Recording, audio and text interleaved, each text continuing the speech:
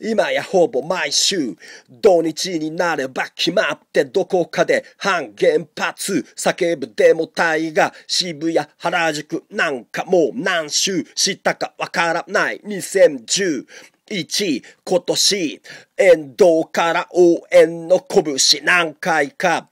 罵声浴びることまあそれ以下冷たい目温かい目どっちにもプラカード母親とベビーカーときっとその目に焼き付いた後アスファルト残した足跡そいつらがきっとそいつらがきっとそいつらがきっと止める原発。